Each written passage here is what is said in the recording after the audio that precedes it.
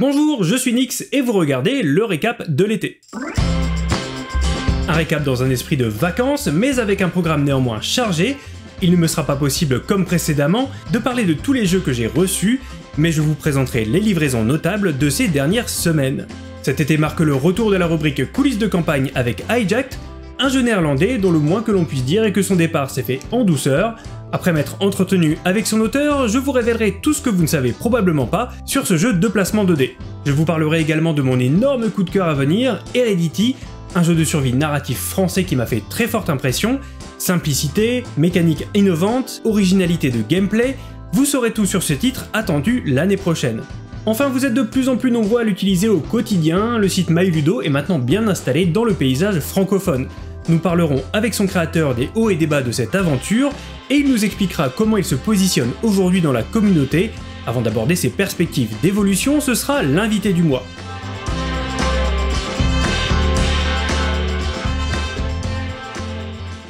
Si de nombreux jeux ont quitté mes étagères ces dernières semaines, certains y ont également fait une entrée remarquée, on commence avec les réceptions du mois. C'est quelques jours à peine après le récap de mai que j'ai reçu ma copie de Wild Serengeti, deuxième création de l'éditeur coréen Bad Comet dont je vous dis régulièrement beaucoup de bien.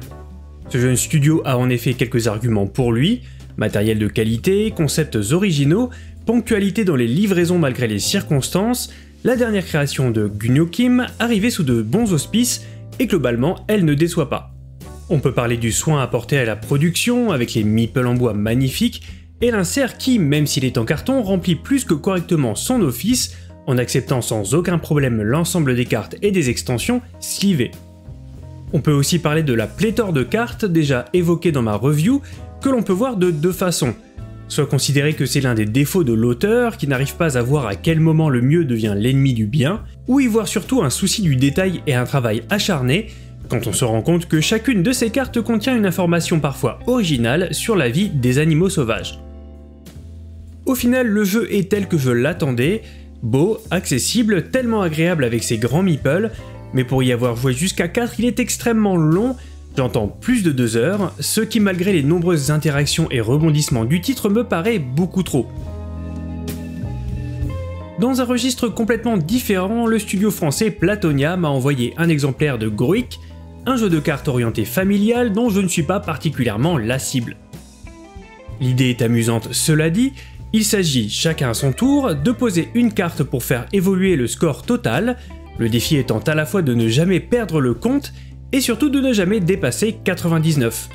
De bonne facture pour son prix, il s'agit néanmoins d'une erreur de casting me concernant. Côté petit jeu, deux découvertes chez Lucky Duck cet été, à commencer par Papillon Céleste, une localisation d'un jeu de collection tout public particulièrement relaxant, dans lequel vous devrez marquer un maximum de points en récupérant des papillons de la même famille. Le twist réside dans le fait que le placement des cartes change à chaque tour, et surtout que l'on retrouve un système similaire à celui de Seven Wonders Duel, dans lequel on ne peut récupérer que les cartes qui ne sont pas recouvertes par d'autres. Petit bonus, le grand Bolina peut être pris par n'importe lequel des joueurs et replacé dans la zone de jeu afin de gêner les plans de l'adversaire en bloquant certaines cartes, un jeu familial mais subtil et poétique dans un format idéal pour les vacances. Dans le même ordre de grandeur, chez le même éditeur, mais parvenu en juillet, Bestioles en guerre, le reskin burlesque du célèbre Air Land Sea, un jeu dont la taille ne saurait laisser présager des enjeux stratégiques. Votre but sera à chaque tour de prendre le contrôle de moins deux des trois champs de bataille, en y posant la plus grande valeur de cartes, L'originalité est que les cartes les plus faibles sont généralement dotées de pouvoirs pouvant renverser la partie, ainsi l'ordre dans lequel vous les poserez sera d'une importance capitale. Autre élément intéressant, vous pouvez choisir en cours de round d'abandonner la manche, et plus vous abandonnerez tôt, moins vous donnerez de points à votre adversaire. Il vous faudra donc toujours mesurer les conséquences du fait de vous acharner jusqu'à la fin de la manche, au risque de donner énormément de points à l'autre joueur, tandis qu'un début de tour explosif peut l'inciter à se coucher alors que vous n'aviez finalement pas grand chose d'autre dans votre main. J'aime Bestioles en guerre pour sa rapidité, sa DA, mais aussi pour ce petit côté bluff, presque poker, qui tient en quelques cartes et une petite boîte. Une fois encore, il s'agit pour moi d'un excellent choix pour vos vacances.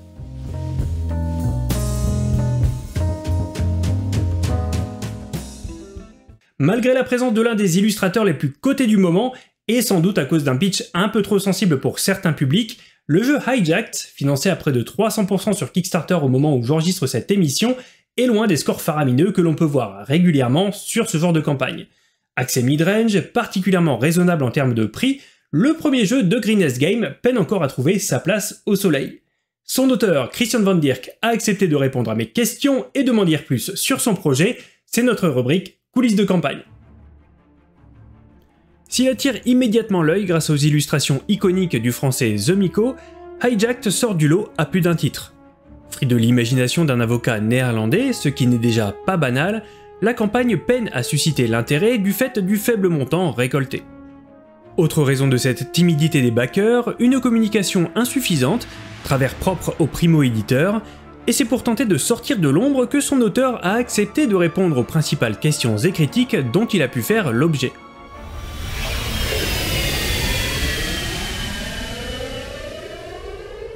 Cette notion, souvent décorrélée à tort des ambitions et de la taille de la campagne en question, est battue en brèche par Christian Van Dirk. D'abord parce qu'il s'agit d'un projet passion et qu'il n'a aucune intention d'en vivre ni de devenir millionnaire grâce à lui, mais aussi et surtout parce que le prix du pledge, exceptionnellement bas vu le contexte, ne peut laisser envisager un score de campagne à 7 chiffres. Reste le nombre de backers, correct mais pas exceptionnel, que l'auteur explique par la quasi-absence du public américain, pour lequel le pitch d'une prise d'otage dans un avion est encore beaucoup trop sensible pour être abordé du côté ludique.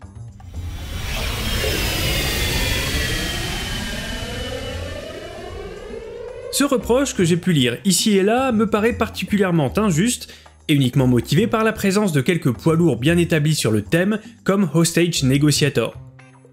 En réalité, affirme Van Dirk, il existe un nombre incalculable de jeux de chevaliers et de pirates sur le marché sans que cela pose problème au grand public, l'important étant surtout que les mécaniques collent au thème et que le tout ait du sens.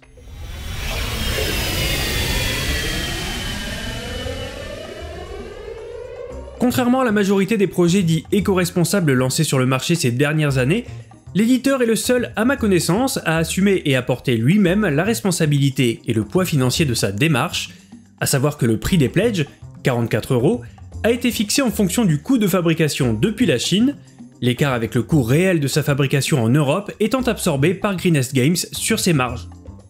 A noter, car cela n'a plus rien d'anodin, que cette production locale permet également de proposer des pledges incluant la TVA évitant ainsi les mauvaises surprises lors du Pledge Manager.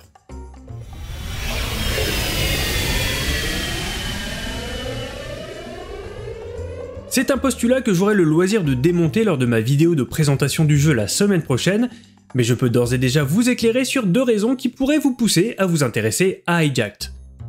Vous mettant dans la peau de négociateurs cherchant à faire libérer un maximum d'otages avant l'intervention des forces de l'ordre, le titre est semi-coopératif, à savoir qu'au moins un des joueurs doit atteindre les conditions de victoire pour que le décompte des points ait lieu.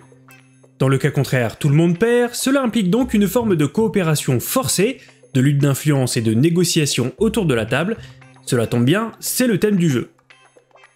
La piste de score a dans Hijacked un poids très important. D'abord pour débloquer des bonus, dont certains sont essentiels, il vous faudra tomber pile sur le score du bonus en question, ce qui demande un grand sens du timing concernant le moment idéal où marquer des points.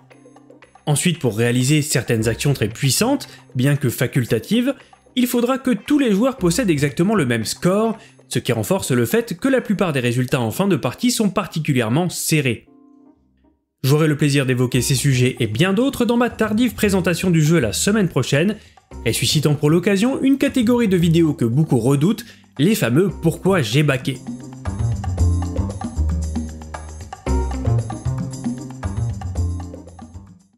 Après seulement deux heures de présentation, il est devenu l'un des jeux que j'attends le plus pour 2023. C'est avec une grande excitation et malgré l'absence de prototype, les quelques photos proviennent de l'éditeur, que je vais vous expliquer pourquoi Heredity est définitivement un projet à surveiller. Regardez. Il commence à montrer le bout de son nez dans les salons, mais reste encore relativement confidentiel. Heredity est un jeu de Jérôme Kans et Laurent Cobel, dont la sortie se fera directement en boutique, normalement au premier semestre 2023. Proposant un mélange de narration, de jeu de rôle et de dungeon crawler dans une campagne de 5 chapitres, le titre, primé au flip 2021, vous plonge dans un futur proche dont l'ambiance n'est pas sans rappeler d'Histoire of Mine, avec des mécaniques à la croisée entre un septième continent moins punitif et un Netherfields moins lourdingue. Durant votre aventure, vous incarnerez une famille subitement confrontée à la réalité d'un conflit qui a presque tout ravagé, l'obligeant à passer brutalement d'une existence sans histoire à une vie ponctuée de violence, de dangers et de choix moraux. Afin de vite aller au but et de vous dire ce qui fait qu'à mon sens ce jeu sera une véritable bombe ludique, je vais vous exposer ces mécaniques de base en quelques secondes. Chaque chapitre, d'une durée de 2 heures en moyenne, vous fera incarner les 4 membres de la famille, représentés chacun par 3 tuiles, sur lesquelles vous poserez vos jetons action à chaque tour. Ces tuiles ont plusieurs usages puisque vous pourrez, par exemple, ajouter de l'équipement à votre personnage en connectant les marqueurs, ou bien les retourner si vous êtes grièvement blessé, ce qui réduira vos possibilités d'action. Inspiré des classiques que je vous citais précédemment, Heredity fonctionne avec un système de cartes numérotées que vous irez chercher au gré du scénario. Ces cartes iront agrandir votre zone de jeu, générer des ennemis ou encore des événements. La pioche de karma, toute proche, présente tout un tas de modificateurs qui entreront en effet pendant les combats. Elle sert aussi de mémoire du jeu car selon les décisions que vous prendrez au fil de votre aventure, vous y ajouterez de nouvelles cartes sans les regarder. Pour faire simple, vous commencerez une partie en lisant une carte de mise en place, vous donnant le contexte de l'histoire. Vous jouerez vos tours en utilisant vos trois jetons action sur des emplacements disponibles de votre personnage, et vous tenterez d'accomplir vos objectifs tout en trouvant et en améliorant votre matériel. Maintenant, voilà où ça devient génial. Après que tout le monde ait joué, vous ferez avancer le pion sur la piste du temps, qui sert à la fois d'aide de jeu et d'IA, puisque c'est elle qui va vous dire quand les ennemis agissent ainsi que ce qu'ils font. Une fois ce pion arrivé au bout de la piste, il repart tout au début. Sur certaines tuiles de la carte sont indiqués des numéros en rouge, cela signifie pour faire court que quelque chose pourrait se produire ici. Toutes les cartes événements dont les numéros sont indiqués sur les tuiles de votre zone de jeu doivent être mélangées dans un paquet appelé paquet d'événements. A chaque tour de jeu, vous ajouterez deux de ces événements, généralement au tout début de la file, ce qui veut dire qu'ils se produiront nécessairement après votre tour qui se situe toujours globalement au milieu de cette ligne. Et c'est absolument génial parce que cela vous donne une sensation de temporalité inégalée. Pendant votre tour, vous savez déjà qu'une femme est en train de se préparer à lancer une grenade par la fenêtre de votre chambre.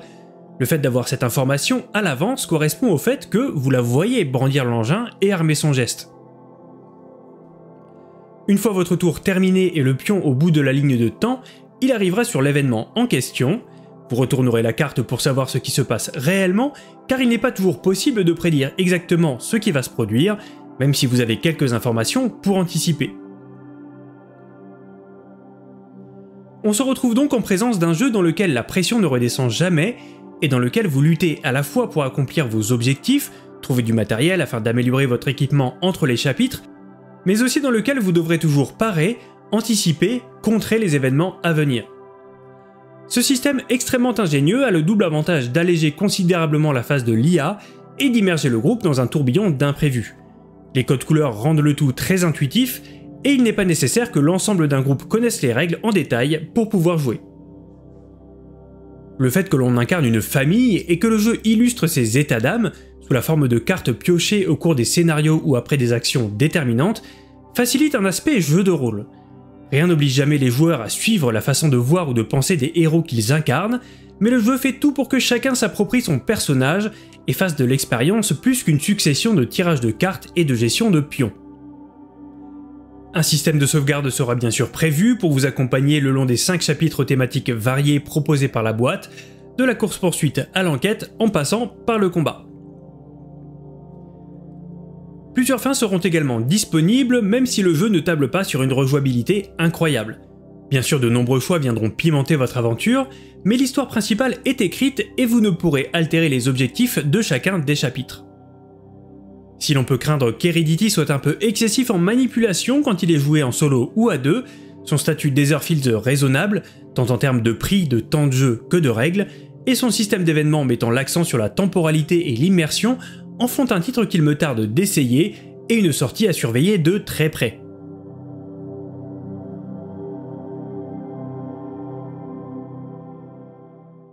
Beaucoup le connaissent depuis quelques années maintenant, mais malgré son succès de cœur, le site de gestion de ludothèque MyLudo continue de souffrir de la concurrence et de la comparaison à Board Game Geek. Yann, son fondateur, m'a fait l'honneur d'accepter mon invitation la semaine dernière. Ce fut l'occasion de discuter tant des racines que des perspectives du site francophone. Il est l'invité du mois. Yann, ça fait 4 ans maintenant que MyLudo est accessible au public et plutôt bien implanté dans le, paysage. Quel est ton bilan aujourd'hui de cette expérience et où est-ce que tu le situerais si on voulait le comparer à, tes ambitions, à tes objectifs quand tu as lancé le site à l'origine? Eh ben, quand j'ai lancé le site à l'origine, je pensais pensais pas du tout arriver, arriver jusque là. Euh, honnêtement, quand, j'ai lancé le site, on devait être, euh, allez, très vite, on est monté à 50, 100 personnes. Et euh, déjà pour moi, ça, c'était une victoire. 50 100 utilisateurs, je pensais vraiment pas arriver jusque-là. Je... Et là, maintenant, on est à 43 000 utilisateurs, plus de 43 000 utilisateurs. Alors, il n'y a pas autant d'actifs, évidemment, peut-être 60% euh, d'actifs, mais euh, c'est un chiffre, c'est un chiffre que je n'osais pas imaginer. Hein. Qu'est-ce que tu imaginais justement à l'origine? À quoi tu tu t'attendais juste à avoir quelques voilà un petit groupe de personnes euh... Tu visais pas plus loin entre guillemets, tu n'avais pas plus de prétention quand tu as tu as créé MyLudo? Non, c'est ça. Voilà, je j'avais développé l'outil pour moi et je, voulais, euh, je l'ai juste donné comme ça sur, euh, sur Forum Code euh, pour, pour voir si ça intéressait les, geeks, hein, parce que clairement sur Code c'est plus, des geeks du jeu de société. Hein. Et, et, ça a très vite pris, donc oui, après l'ampleur que ça a pris, non, je m'y attendais pas au départ. Hein. C'est un site qui a bien grandi et qui a, beaucoup évolué dans ses fonctionnalités, on l'a vu, euh, mais ça et là, et particulièrement sur votre Discord, on se rend compte que la communauté n'a de cesse de vous suggérer de nouvelles améliorations, de nouvelles fonctionnalités. Et ce qui m'avait marqué lors d'un événement live que vous aviez organisé il y a quelques mois, c'est que euh, régulièrement, ta réponse, ça allait être euh, bon, peut-être que ça, ça va être compliqué, ou cette fonctionnalité-là, ça risque de prendre du temps. Aujourd'hui, quel est le principal facteur qui empêche ton site de, on va dire, de se développer ou, si on veut, de passer à la vitesse supérieure? Est-ce que c'est financier, ce qui te manque du monde? Non, bah, oui, oui, concrètement, c'est euh, les moyens financiers. Hein. C'est le, nerf de la guerre, hein, comme on dit. Euh. En fait, plus le site, plus site grossit et plus on va avoir besoin de ressources financières pour l'héberger, tout simplement, déjà, dans un premier temps. Parce que ça coûte, ça coûte plus d'une centaine d'euros par mois, hein, quand même. Donc euh, on a besoin régulièrement de dons, de qu'on est axé, on est axé principalement sur le don, hein, c'est le don qui fait vivre le site. Et euh, donc oui, c'est les moyens financiers dans un premier temps, et, euh, sur le très long terme, ce serait, ce serait du personnel peut-être pour, aider à développer.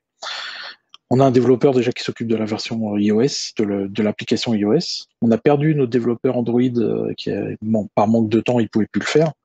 Donc on n'a plus d'application Android pour ça. Donc euh, oui, voilà, pour grossir vraiment, si on voudrait avoir une application Android, il nous faudra un développeur Android, que j'ai pas les moyens de payer, hein, clairement.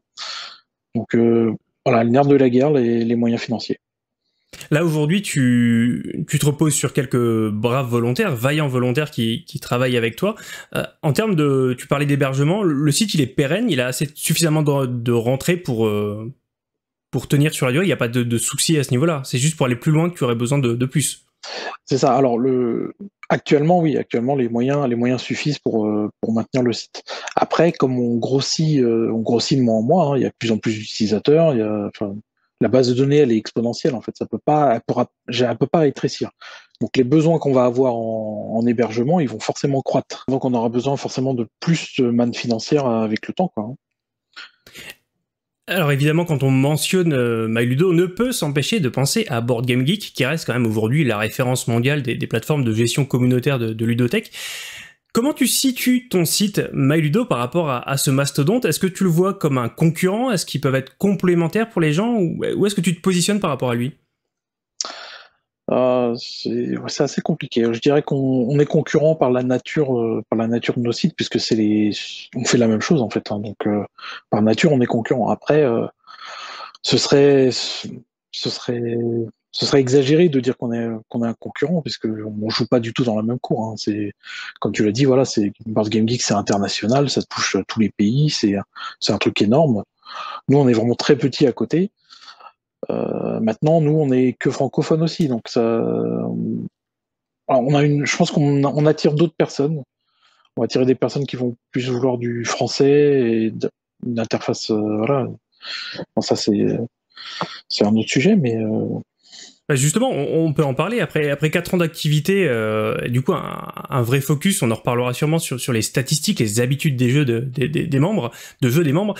Est-ce que tu peux aujourd'hui nous tirer un portrait robot du, joueur type sur MyLudo Est-ce qu'il y a un utilisateur moyen que tu pourrais nous, nous caricaturer là euh, en quelques secondes? En quelques secondes. Euh, non, j'ai pas. quelques minutes. Ouais, j'ai pas d'utilisateur moyen parce que on va dire j'ai plusieurs stéréotypes. On va avoir le, le geek, euh, le geek fan de fan de KS, euh, de, jeux experts, etc. Donc lui, euh, lui il va avoir des grosses collections perso, à titre perso, top. Je peux donner un exemple. Le record du nombre de jeux collectionnés sur le site, c'est un particulier en fait. C'est pas voilà, c'est c'est un particulier. Donc on a ce genre, on a ce on a ce genre de stéréotype, mais on a aussi bah, des personnes lambda, on va dire plus, plus casual gamers qui vont, avoir une petite collection de jeux et plus des jeux familiaux, etc. Et on va aussi avoir des, des ludothèques.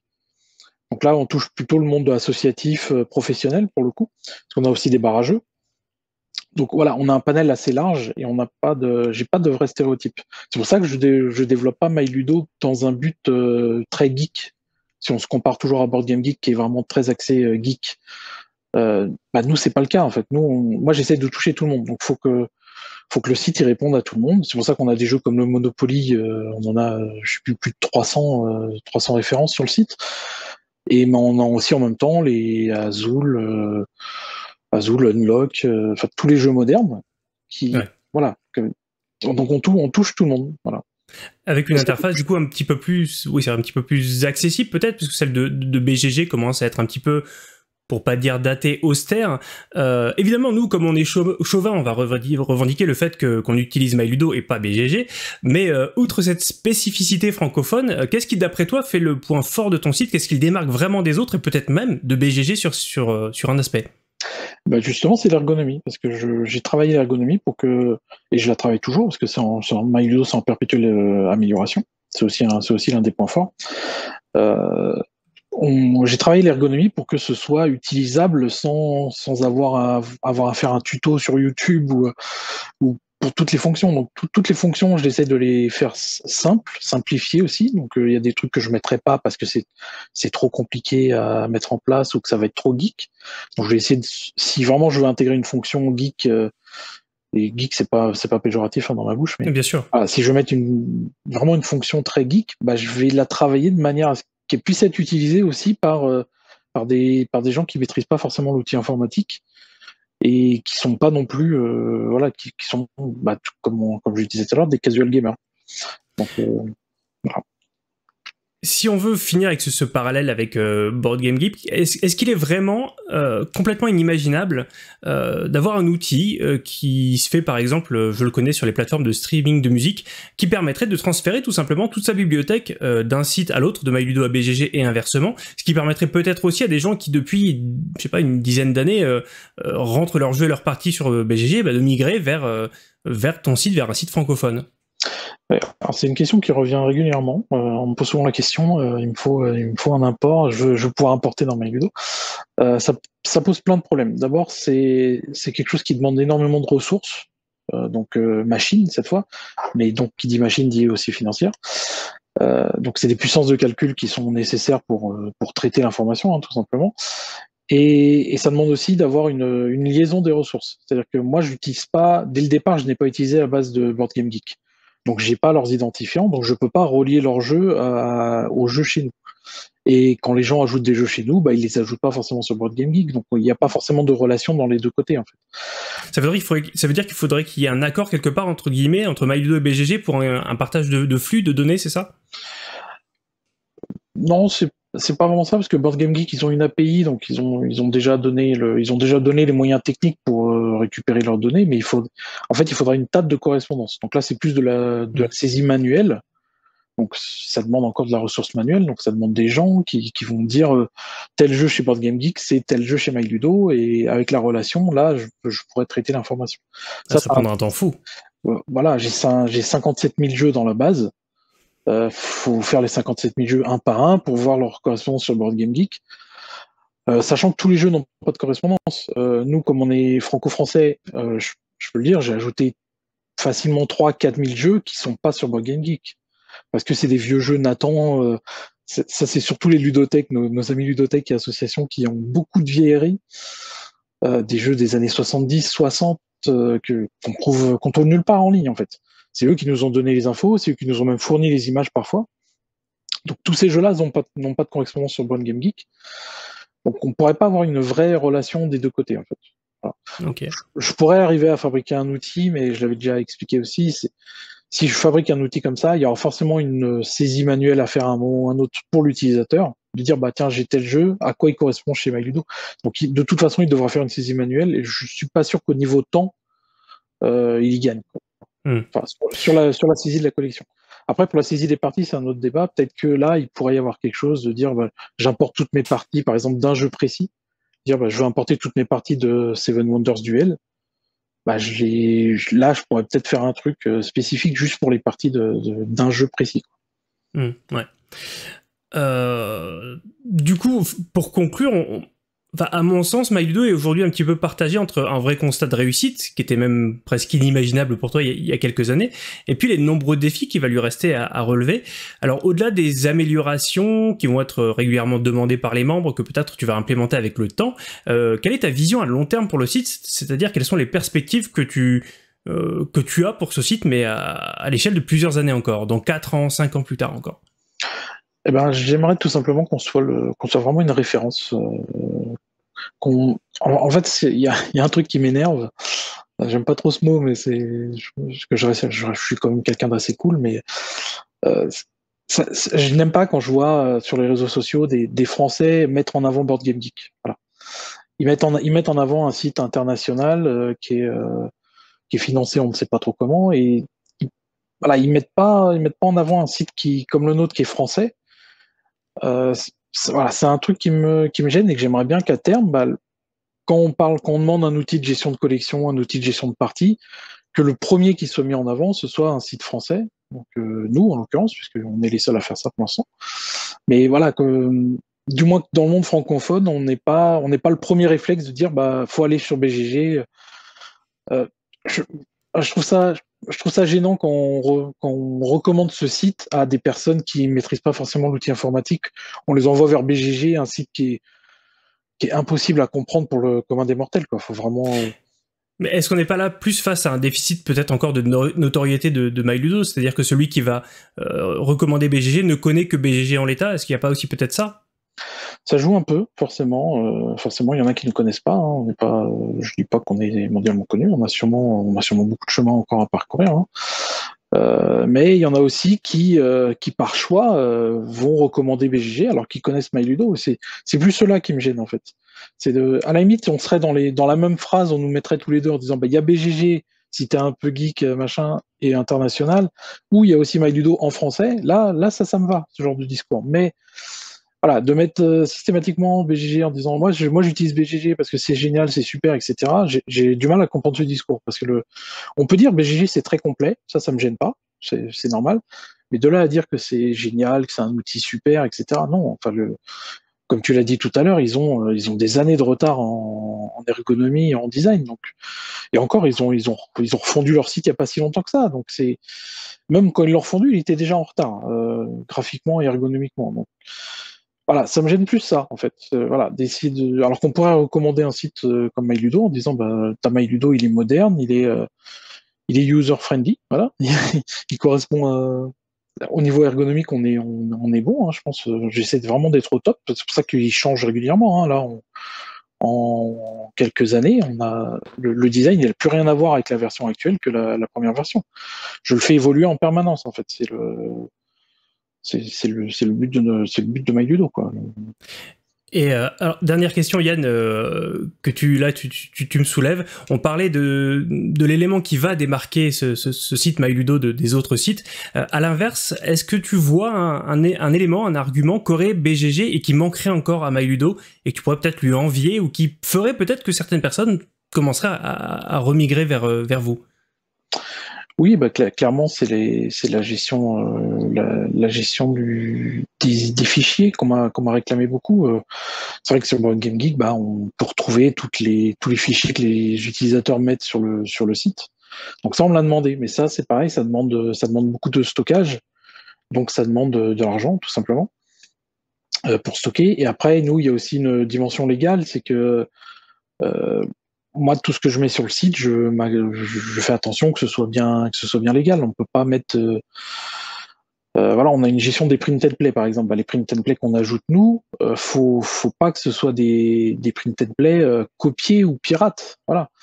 donc les fichiers, si on les ajoute, faut aussi que ça réponde à ce, besoin-là. Et je sais qu'il y a des éditeurs qui sont, qui ne sont pas pour mettre des, des règles de jeu ou des variantes de jeu de leur jeu en, en, ligne, en fait. Donc si si, si, voilà, si on met les fichiers, il faut aussi qu'il y ait un contrôle là-dessus. Je suis pas sûr que Bon Game Geek s'en soucie beaucoup parce que il y a sûrement il y a, y a une modération après coup en fait euh, des fichiers, mais euh, voilà, les éditeurs français, ça doit pas trop leur parler plus que ça, à part certains gros, mais voilà, nous c'est une considération qu'on prend en compte et, bah du coup oui, c'est le genre de fonction là qui manque.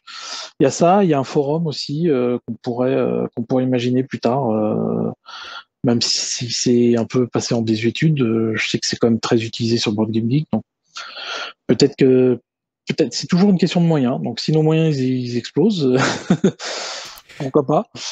On pourra envisager euh, de multiplier par deux notre hébergement pour avoir des fichiers et pourquoi pas un forum. Alors comment on peut vous comment on peut vous aider alors euh, en, termes de moyens? Celui qui vous regarde, qui peut-être même connaît même pas MyLudo, ou au contraire adore, et qui se dit je voudrais vraiment l'aider à aller plus loin, qu'est-ce qu'il peut faire? Alors la première source d'aide, c'est les, les, dons, tout simplement. Donc on a plusieurs plateformes possibles. On peut nous faire des dons sur Utip, sur, euh, sur Tipeee, sur PayPal. Euh, on privilégie Utip ou PayPal. Euh, Tipeee, euh, je, je, passe, il y a eu une polémique, donc on essaie, on essaie d'éviter, mais il y a encore des gens qui nous donnent sur Tipeee. Euh, ça, c'est les sources principales. Et après, il y, a, euh, il y a les boutons d'affiliation qu'on a sur nos fiches de jeu. Donc, à chaque fois que quelqu'un va cliquer sur le bouton Philibert ou, ou pour aller acheter des jeux. Euh, après, on va toucher un petit pourcentage sur le, sur le panier. Voilà, donc ça, ça contribue aussi. Après, vraiment, la source principale, c'est le don. Et euh, comme je dis souvent, euh, c'est bien qu'on nous fait un, don, même important, de 20 euros, de 20 euros, un don unique en fait, de 20 euros, c'est très bien. Mais pour la visibilité à l'avenir, vaut mieux donner, vaut mieux donner régulièrement. Doit avoir du un petit peu moins régulièrement, c'est ça. Je préfère, mm. euh, je préfère 1 euro sur, euh, sur 10 mois que 10 euros d'un coup, en fait. Parce que, parce que comme ça, ça me permet de voir que tous les mois, on touche, on touche de l'argent, etc. Euh, et puis, bah, si, vu le nombre d'utilisateurs qui utilisent MyLudo, si tout le monde donnait 1 euro, je, pourrais, je pourrais faire beaucoup plus que ce qu'on fait actuellement, c'est sûr. Hein. Mm. Très bien, bah, je pense que le message est passé. Merci Yann en tout cas d'être venu nous rendre visite. Bah, merci à toi. C'est la fin de ce récap de l'été que je vous remercie d'avoir suivi. Je vous donne rendez-vous pendant tout le mois d'août pour découvrir de nouvelles pépites indépendantes. D'ici là, profitez bien, salut